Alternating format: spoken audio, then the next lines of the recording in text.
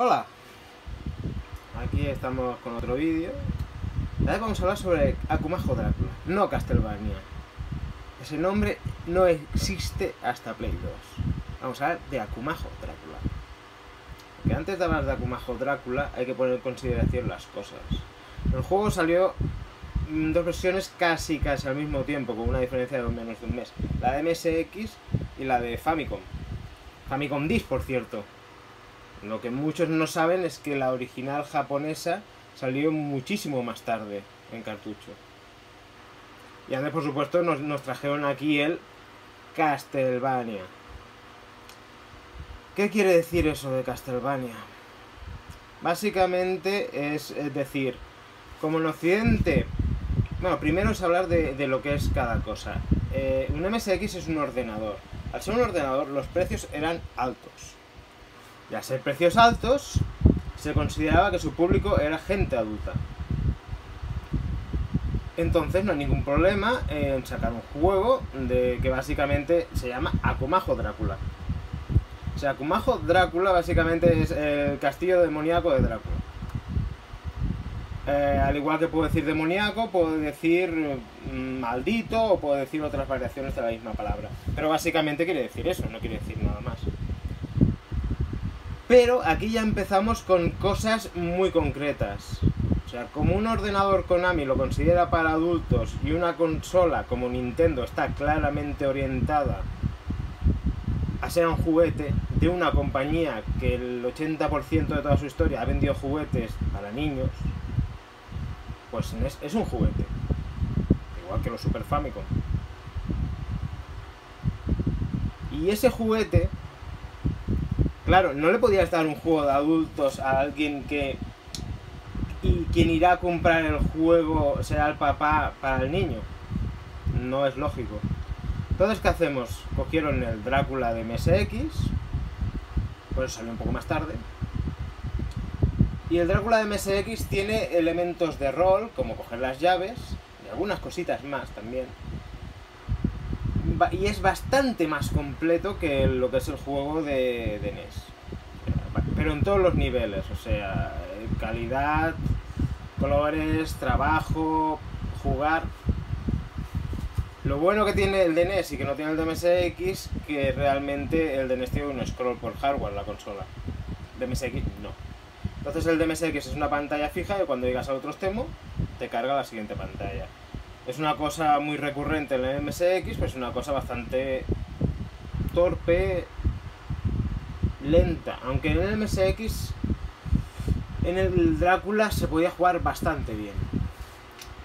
¿Por qué digo esto?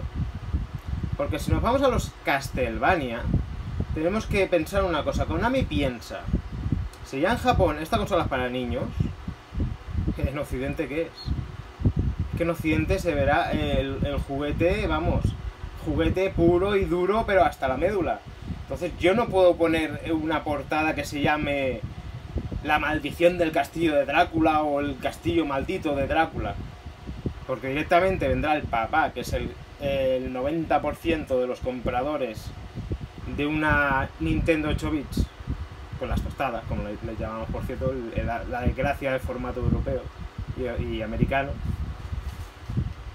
Y decir, oye, cómprame este juego que se llama así. Oye, ese, juego yo se lo voy a comprar a mi niño de 8 o 9 añitos. No le puedo poner eso. Vamos a meter un nombre amable. Vamos a llamarlo Castlevania. Que el nombre después de todo no es feo. El problema de eso, el problema de eso empiezan... ¿Cómo explicarlo? Es muy sencillo. Es como si te coges las películas que de Harry Potter y dices, no lo voy a llamar Harry Potter. Lo voy a llamar eh, el tío que vuela en la escoba. ¿Vale? Y cuando lo traemos aquí decimos, la gente intelectual, intelectualmente de este país no da para mucho. Por lo tanto, y viendo que va orientado a X público, eh, déjame mirar las películas. A esta le sacamos media hora, a la otra le sacamos una hora, a la otra le sacamos 40 minutos, por si acaso. Y si dura menos, ganaremos más. No solo eso. Vamos a coger que la tercera película la ponemos la primera, la sexta la ponemos la segunda y la cuarta, como no nos acaba de gustar, la metemos eh, entre la sexta y la séptima y lo cambiamos todo. ¿Vale? Pues hacen eso, lo sacan en Europa y en, y en Estados Unidos. Y, y claro, la gente que sabe dice, ¿qué puta mierda me estás sacando? Es que no tiene sentido. ¿Qué estás sacando? Pero si me falta la mitad de las películas, me han mezclado toda la historia, no hay nada correcto y está todo mal. ¿Qué me has sacado? ¿Qué, qué, qué es eso? Eso, aquí en España con los Castlevania pasó al contrario. El juego se llama Castlevania.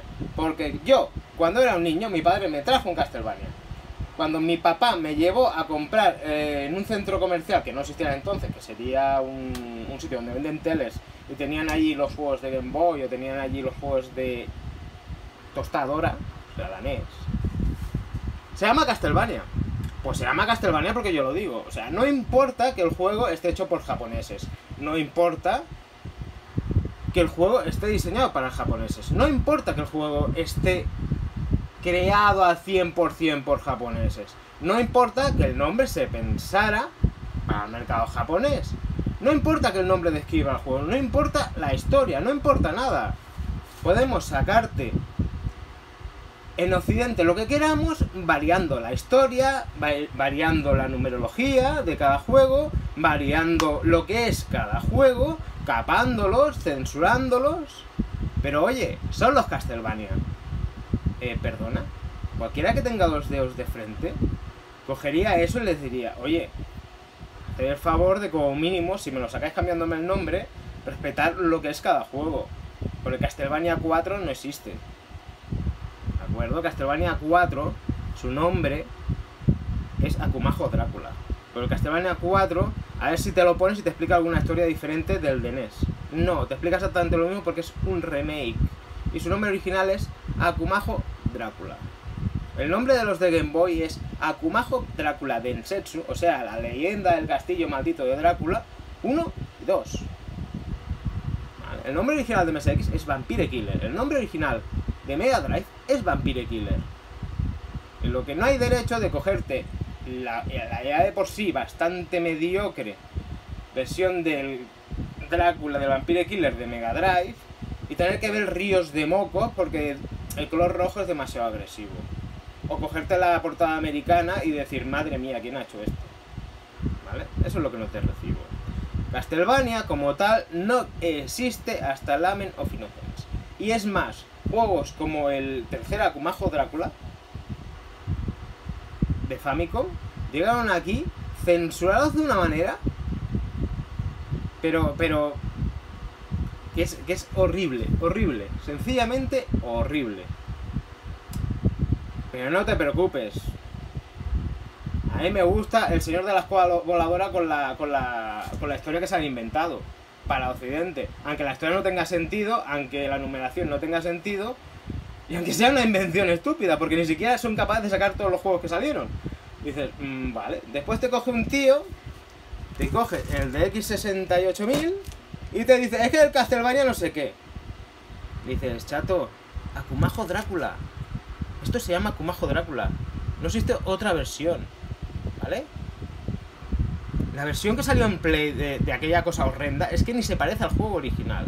El único Castlevania y el primer, mejor dicho, el primer Castlevania que apareció en Japón fue el Lamen of que es este.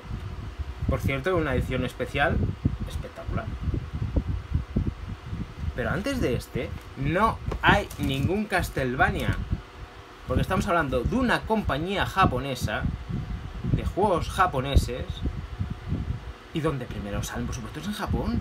Que a ti te traigan el resto, los restos de algo censurado, maltratado, cambiado, solamente porque piensan que tú eres, digamos, más infantil que un japonés. ¿Tú eso lo ves bien? Pues a mí, sinceramente, me da mucha rabia.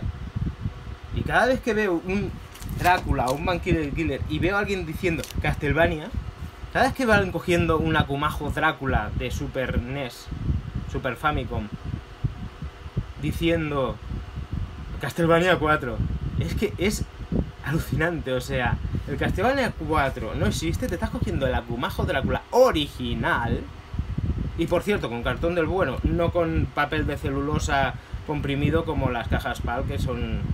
Que realmente la segunda utilidad, que es eh, la de poder ir al lado con ellas, que es una urgencia, es útil, porque realmente el proceso de construcción es esa. Pero que realmente tengas ya no la poca idea de decir que 30 años después todavía estés diciendo Castlevania. Tío, por favor. Ya sé que este mundillo... mm, eh, estamos en sofás, estamos en sofás con LED detrás. Estamos con gente que hace unos vídeos que dices, me preocupo más de hacer el burro en el vídeo que de hacer otra cosa. Pero oye, han pasado 30 años. Eso se llama Harry Potter, esto se llama Kumajo Drácula. Haz el favor de respetar la creación, a los creadores, a los que le dieron su nombre. ¿Vale? Porque aquí a ti no te trajeron el Castlevania para hacerte un favor. Te trajeron el Castlevania porque pensaron que tú eras tonto. ¿Vale? Porque pensaron que el padre viendo a Kumajo Drácula en la portada dirían, hostia, ¿cómo le voy a llevar a mi hijo un juego que se llama Kumajo Drácula? Pues esto es un juguete. ¿Y eso es lo que queréis los tantos defensores de, todo lo pal? ¿Que os tomen por tontos y tener juguetitos? Pues eso parece, macho. Porque, y realmente luego gente se pone a comentar este juego. Ya empieza diciéndole Castlevania. Y luego es que no sabe nada. Te pone un emulador que va a saltos. Habla de él como si. Es que. Es alucinante. Y este juego, lo más gracioso, es que mucha gente lo compró. Sobre todo los de MSX. Porque vieron que salió bastantes años después y decían, como colecciono todo de Konami, vamos a coger lo de, lo, lo de X68000. Que no sabían ni qué era. Y por supuesto siempre, siempre será mejor todo lo de MSX. Por supuestísimo. Pero realmente alguien sabía algo de esto. No. No. Pero, por ejemplo, si tú coges este juego, es un tutorial muy básico, por así decirlo. Por cierto, esto es cartón. ¿Vale? No es compostaje de este de, super que se abren las puntas a lo bestia y que está hecho de celulosa. Esto es cartón. O sea, cartón. ¿Vale? ¿Entendemos lo que es cartón y lo que es compuesto de celulosa que se deshace? ¿O que se, se agrieta nada más abrirlo? Vale. Eso que quede bien claro. Claro. Si tienes una urgencia siempre te puedes coger tu juego PAL de super para cuando vayas al lavabo. ¿Qué tenemos aquí? Tenemos unas instrucciones, una pegatina de user disc y una registration card. ¿Cómo es que esto no tiene la funda original? Porque esto es el user disc. Aquí hicieron una cosa muy curiosa con este juego. Este juego, pero para eso tendrías que mirar las instrucciones. Y claro, está en japonés, que es un idioma que es absolutamente y totalmente imposible comprender nada. Pero hay una sección donde te dice la instalación. ¿De acuerdo? Instalación en el disco duro. Y acá arriba que te pone user disk. ¿Qué es user disk? Pues sin eh, el user disk en MSX se usaba en muchos juegos para, hacer un disco de más para la partida. Eso también se hace en el FM Towns mucho. Pero en este juego es diferente. ¿Qué hizo Konami con este juego? Por cierto, tengo la pegatina entera y tengo el, el user disc con su pegatina. Ya que estamos lo tenemos todo bien completo.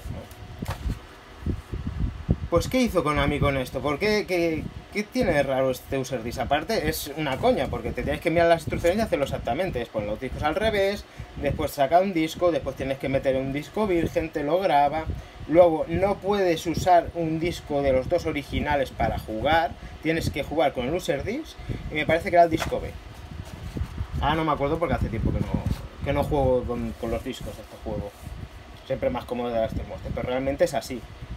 O sea, tú con este juego tienes que meter esto en un orden en el ordenador. Entonces te expulsa un disco, metes un disco virgen y te queda el user disc. ¿Qué es exactamente el user disc de este juego? El user disc de este juego es una copia que hace el ordenador del disco normal. O sea, te hace una copia entera del disco normal. Pero esa copia no está protegida. Si aquí se ve. Básicamente lo que, lo que hicieron con este juego es decir, si usamos los dos discos del juego y en uno de ellos grabamos, como tengamos el mínimo error, te quedas sin disco. Si la disquetera se rompe grabando un save, te quedas sin discos. Entonces, ¿qué dijeron? Vamos a hacer un disco de respaldo. Entonces, el user disc básicamente es el disco completo, pero en el que se puede grabar. Y en el que se graban las partidas. En este juego, cada vez que te pasas una pantalla, te permite la opción de grabar partida. Pero como digo, no puedes jugar con, no sé si era la o el B, pero uno de los dos se copia en, el user disc y entonces metes el user disc y uno de estos dos. Y con eso juegas al juego entero. Y además te puede grabar partida. Como digo, si metes los dos originales no vas a poder jugar.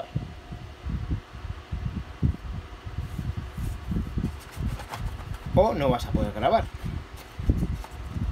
Pero que realmente lo del user disc de este juego es complejo. Porque realmente si la gente lo compraba, si por casualidad alguno conseguía un X68000, eh, decía, ¿y cómo lo hago yo? Mira. Userdin, mira, tienes que poner el disco B en la disquetera 0. Eh, vale. Mm, mm, mm, un disco en blanco en la disquetera 1. De encender apretando Option 1 en el teclado. Lo que la gente tampoco entiende que si hay una cosa importante en los X68000 es, es tener el teclado. El teclado lo necesitas para hacer mil cosas para jugar. Hay juegos que solamente se pueden activar los start con el, con el teclado, solamente puedes hacer a ciertas opciones del teclado, o sea, es, muy importante tener el teclado. pues haces esto que he dicho, le das a encender y él te crea un user disk. Ya está, es tan sencillo como, como eso. Después, si quieres, también tenías la opción de, de poniéndolo de otra manera, instalarlo, pero bueno, teniendo el After Monster. Pero al menos para que se vea que realmente no, tampoco este juego era coger, lo metemos y jugamos. No, no es tan sencillo. Es igual que los Street Fighters. Pero es que es, es, muy cansado estar en el 2020, todavía escuchar a alguien diciendo es que Castlevania no sé qué, en juegos de 8 y 16 bits. Pero pero a ver, ¿en serio? ¿En serio? ¿Todavía estás diciendo Castlevania 4? ¿4 de qué, tío? ¿4 de qué? Es que no sabes ni de lo que hablas, no, no entiendes nada, no... Tú eres el, niño y te quedaste en aquella época y ¿para qué aprender? No es necesario aprender. Yo sabiendo nada soy feliz y contento. Ya se demuestra por YouTube. Ya se demuestra. Vaya si se demuestra. También ayer estuve viendo el hilo de Twitter, que me, que me pareció muy gracioso, de gente que realmente, si tuviera solamente la capacidad de rebatir un solo argumento de lo que digo en los vídeos, estaría bien. Decirme aquello, lo otro y tal, pues vale, di lo que tú quieras, que yo me río. Yo voy a Retro Barcelona. Todos los que tienen tanta boquita en Twitter pueden ir ahí a decirme lo que quieran, ¿vale? Y han ido muchos con la cabecita abajo y preguntando ¿esto qué es? ¿Vale? O sea que mucha boca en Twitter y después la realidad ya sabemos todos la que son en este mundillo, ¿verdad? Y los reyes de la comedia de YouTube con los vídeos de y hablando de juegos sin saber ni qué están diciendo, bueno, no veas. Por cierto, yo comentar que casi no tengo juegos. O sea, yo tengo muy poquitos juegos. He tenido, he llegado a tener muchos, me deshice de muchos y ahora básicamente cuando comento cosas como esta, son cosas que tengo algún amigo que le digo, oye, déjamelo para hacer un vídeo y ya está. Yo realmente tengo poquísima cosa. No soy alguien que ha tenido mis épocas de tener mucho, pero realmente pasaron. Yo tengo cuatro cositas y de esas cuatro cositas voy tirando. Ahora, lo que es muy lamentable, el nivel de cómo está esto ahora no puede ser que 30 años después esté todo lleno de gente que no sabe ni de, qué habla, no sabe lo que dice. O sea, es, es que gente que, te hace un vídeo que te da vergüenza ajena. Que eso no es así en ningún otro mundillo medianamente serio. El problema es, debe ser que este mundillo no es muy serio. Y que como se hacían juguetes por parte de Nintendo o Sega, y esos ahora mismo han crecido con su idea de juguete y con su idea de entonces. No se han molestado en aprender nada y no saben nada. Entonces, sin saber nada, puedes abrir mucho la boca desde internet. Después, cuando te encuentras con algunos de estos en verdad, están muy calladitos.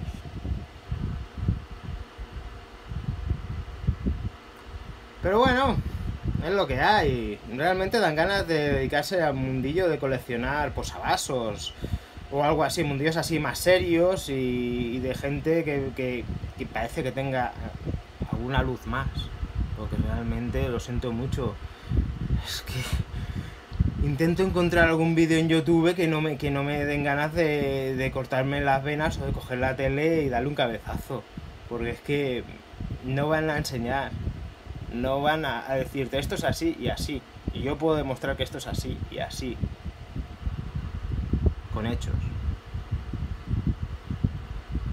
Van sencillamente a repetirte lo que llevan repitiendo 30 años sin saber lo que están diciendo. Y sin molestarse en, comprar, en comprobar nada. Usando unos emuladores que se ven en los vídeos que dan ganas de pegarse un tiro. Tú mírate cómo se ve el vídeo de Matt Stalker en el monitor original y empieza a ponerte vídeos de YouTube. Verás respuestas lentas, saltos de animaciones, verás absolutamente de todo. Y te están haciendo los comentarios en base a eso. A eso. Dices, mm.